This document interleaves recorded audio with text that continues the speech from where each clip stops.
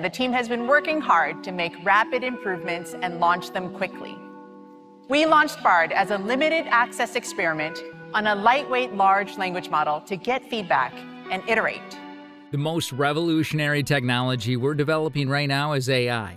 AI helps people, businesses, and communities realize their full potential by assisting in the earlier diagnosis of diseases and allowing users to access information in their native tongue. One of the best creations of AI is BARD. Today, we're going to discuss Google's new BARD AI. AI creates new possibilities that have the potential to greatly enhance the lives of billions of people. The greatest AI computations currently double in size every six months, considerably exceeding Moore's Law. At the same time, big language models and sophisticated generative AI are catching people's attention all across the world.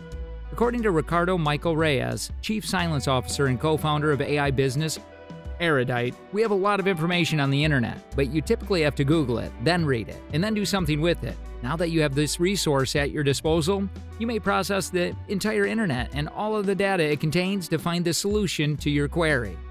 As you collaborate with BARD, you'll be able to tap into services from Google and extensions with partners to let you do things never before possible.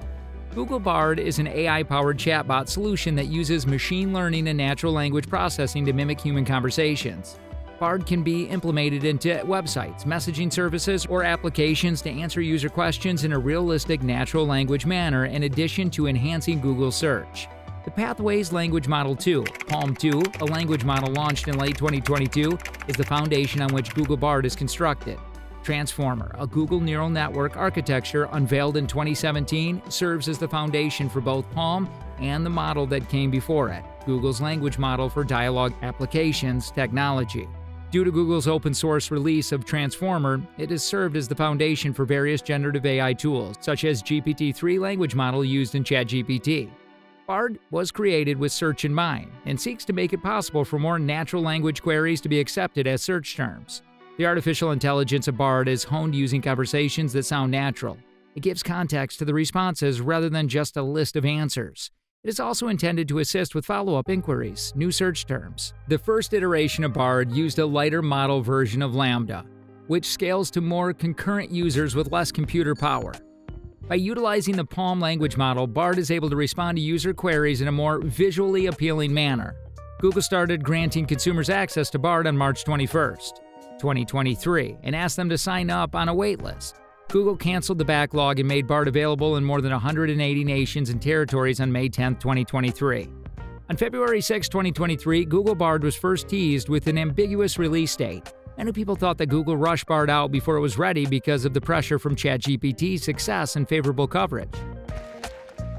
It's amazing to see the rate of progress so far. More advanced models, so many new capabilities, and the ability for even more people to collaborate with BARD. And when we're ready to move BARD to our Gemini model, I'm really excited about more advancements to come. For instance, it provided a terribly incorrect response to a query during a live demonstrated by Google and Alphabet CEO Sundar Pichai. What new discoveries from the James Webb Space Telescope can I tell my nine year old about? A user questioned Bard during the session. According to Bard's statement, the JWST took the very first pictures of a planet outside of our own solar system. Astronomers promptly pointed out on social media that Bard's response was false by pointing out that the first photograph of an exoplanet was captured by an Earthbound observatory in 2004. The following day, Google's market worth dropped $100 billion as a result of an embarrassing error. Users must have a personal Google account and be at least 18 years old. BARD offers its services in 180 nations and territories and intends to grow. As was clear from its initial demo, BARD, like any AI chatbot, must be taught and educated to provide the right response from incorrect or misleading information.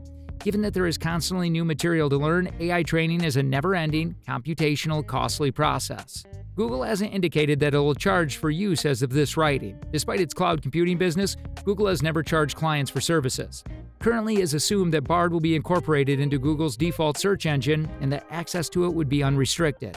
Both Google Bard and OpenAI ChatGPT are AI chatbots, which means they're created for human interaction using machine learning and natural language models. Both make use of a machine learning model called a large language model, LLM, for generating and constructing conversational text. Due to ChatGPT's enormous success, businesses like Microsoft, which invested in OpenAI, have decided to permanently use artificial intelligence in their line of products. The newest chatbot from OpenAI, GPT 4, will soon help automate Excel, PowerPoint, Outlook, and Word. Other businesses have begun to enter the market, including Google, which just released Bard, a generative chatbot with many of the same features as ChatGPT.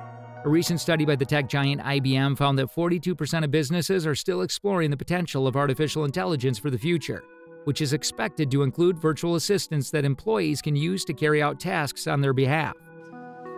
Bard continues to rapidly improve and learn new abilities, and we want to let people around the world try it out and share their feedback.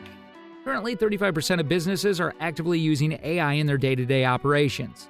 In fact, it's predicted that voice assistants powered by AI will be used by 8 billion people by the end of 2023.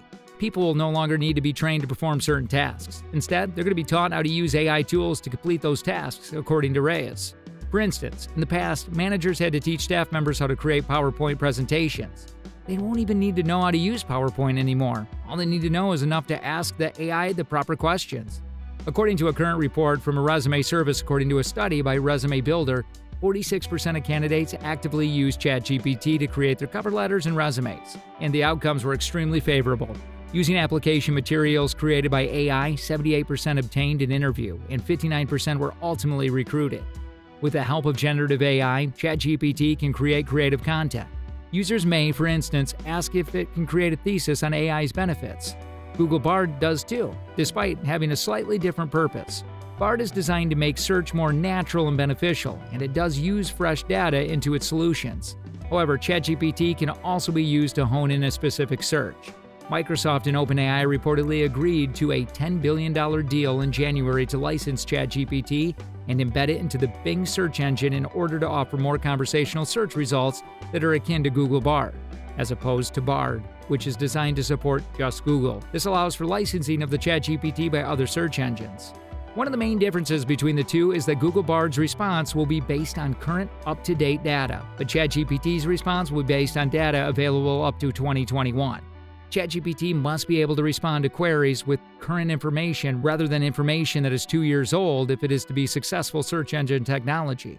OpenAI provides a plagiarism detection tool for instructors so they may catch students utilizing ChatGPT for homework projects. OpenAI is aware of the possibility of plagiarism with ChatGPT, there's currently no information on whether Google Bard has a plagiarism detection program of its own. Bard occasionally links to sources and cites further material in its reply. ChatGPT didn't appear out of thin air. Chatbots powered by AI have been available for a while, albeit in less flexible guises. Numerous startup businesses have been developing comparable chatbot technologies, but without the publicity that ChatGPT has, that's all for today's video. If you like the video, don't forget to like and subscribe to our channel. Also, click the notifications bell to get informed by our upcoming videos.